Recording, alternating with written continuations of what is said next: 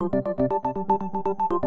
New research ties one of the biggest mass die-offs in Earth's history to the massive volcanic ridge that runs through the Atlantic Ocean. The study, published in the journal Science, examined the end Triassic extinction event, where at least half of living species went extinct all at once, and the creation of the rift that broke apart North America and Africa. The two events were known to have happened around the same time, around 200 million years ago, but without knowing which came first, scientists couldn't say whether the volcanoes caused the die-off.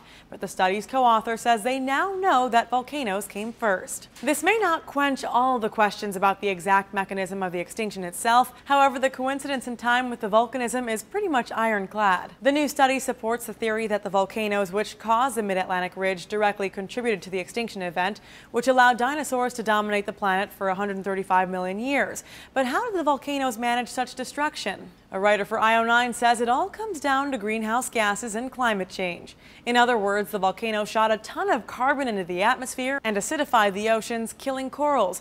Basically, the Earth destroyed itself by polluting the environment. The researchers say the biggest extinction events all line up with volcanic activity, meaning as several writers pointed out, the biggest threat to life on Earth is Earth. Although we tend to think of the Earth as an amazing, hospitable planet, at several times in the past it seems to have done its best to kill us all, or at least all of our ancestors. And if the story of rising CO2 levels and mass extinction sounds like a cautionary tale, you wouldn't be the only one. The Daily Mail tied the new study to the current debate on climate change. Explosive human population growth, industrial activity, and exploitation of natural resources are rapidly pushing many species off the map. Burning of fossil fuels in particular has raised CO2 levels more than 40% in just 200 years, a pace possibly as fast or faster than that of the end Triassic. For Newsy, I'm Candice Aviles.